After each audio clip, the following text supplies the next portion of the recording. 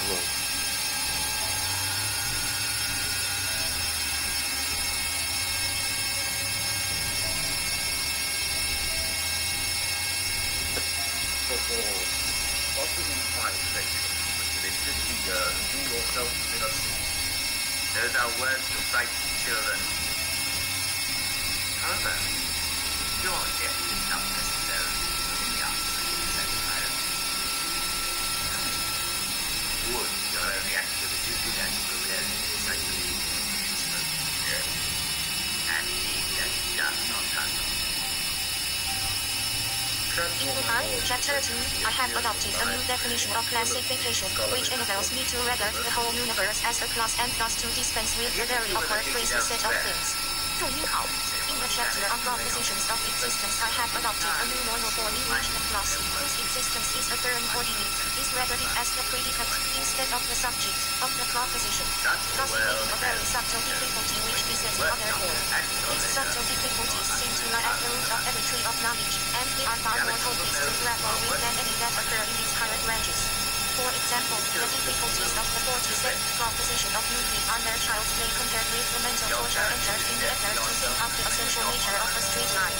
And, in the present work, the difficulties of the Elias problem, at P 192, are trivials, light as air, compared with the wildering question what is a thing